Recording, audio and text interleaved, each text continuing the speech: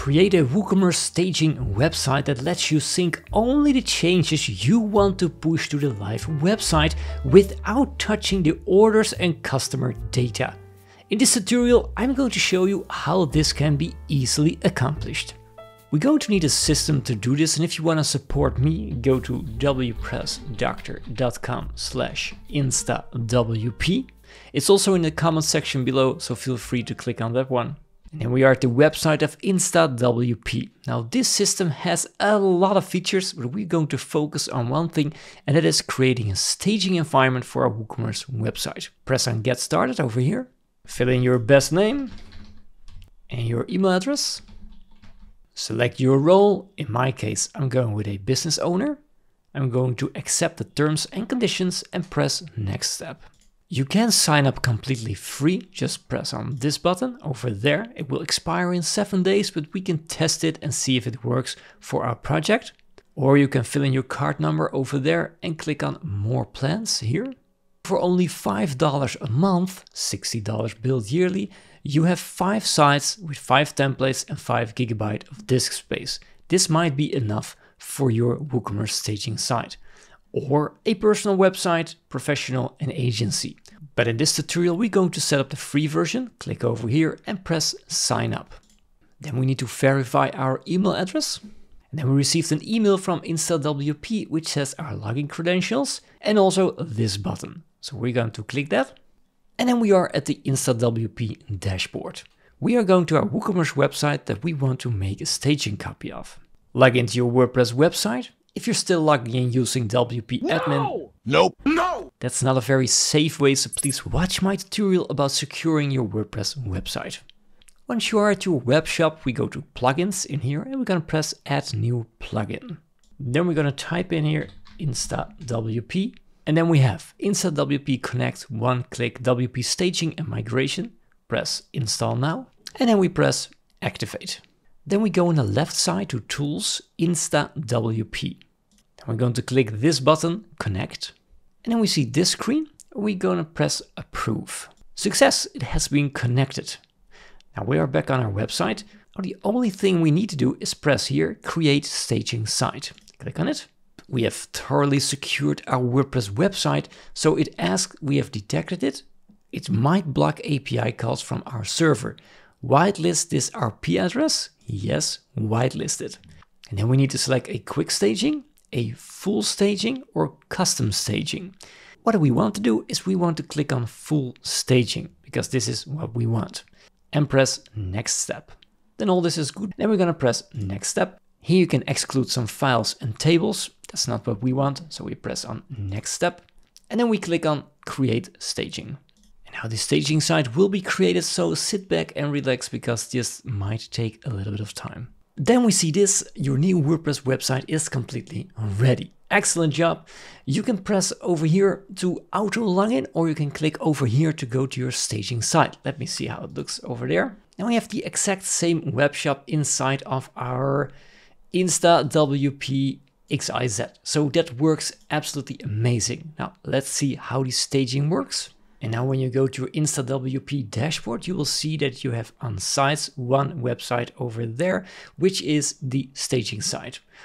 Also, when you go to connects over there, you will see you have one website connected. This is my original website. And you can see I have one staging site. If I click here, you will see this is the staging site right there. Then we press on auto login and we go to our staging site. Here we go. And then I am at the staging website of the exact same WooCommerce website. As you can see, when I go to WooCommerce, I go to orders. You can see that all the orders are still in here, which is excellent and exactly what I wanted.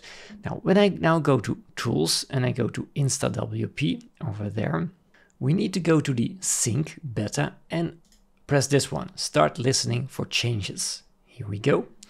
Then what do I do? I go to plugins, install plugins, and I'm going to disable all the plugins that I don't need working on this staging website. Scroll down and I'm going to deactivate WP Rocket because I don't want to WP Rocket working on my staging site. It's not necessary and it slows down my development progress. So let's say I go now to my pages on my staging website. Then I go to pages and I'm going to add in a new page.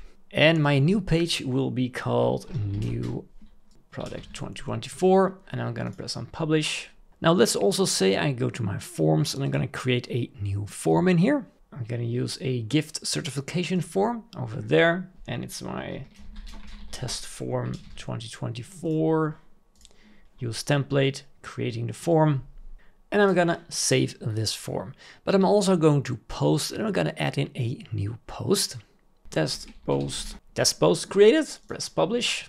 Now, let's say I made all these changes to my post and my pages in a form, but I also wanted to create a new product over here. So I'm gonna create a new product, new test product. Then when you're done editing your staging website and you want to push it to live, you go to Tools, InstaWP. And when we are here, we can see all the changes that I've created throughout my WooCommerce webshop. I now can push the things I want to my WooCommerce website. So I only want to push these things, but not deactivating WP Rocket. And I maybe don't want to have the new product. I can just sync selected. And here we go. One page created, one page modified, one page both created. And I'm gonna press sync now. All right, and that's it. The sync has been completed. That's really quick. Now we can see that these things are already completed and these things are not yet synced. This is a very safe way to only update pages, create new things, uh, launching new products without actually influencing your live WooCommerce website. Let's go to the real website over here and we can now go to posts and see if my new post has actually been synced. There it is. Let's trash this post and go back to pages. I can see my new page over there. I'm also going to trash it right there. I also deactivated WP Rocket on the staging side, but it's still working here on the live website because I didn't push that changes. If I also want to push my changes from the live website to my staging website, I go over there to sync beta and also enable it on my live website. However, the thing you need to keep in mind is when you work on a staging website and your entire company, you should be always working on a staging website and then one person has to push it live from there. Using InstaWP as a staging system for WooCommerce website is actually the best solution I've ever came across. And for just $5 a month, I have a complete staging website, but I can also create four more websites in my InstaWP dashboard. That's no money for a great staging solution that every time it works. Now there are a lot of things you can even do more with InstaWP, like creating instant news sites and give clients access to them so you can show them. But in this case, I just wanted to show you how to build a staging website for your WooCommerce shop that works great without losing customer data or order data. If I helped you out with this tutorial, maybe you also like this video, which is about syncing your WooCommerce shop to a Google Sheet. From there, you can change everything about your products. Really interesting.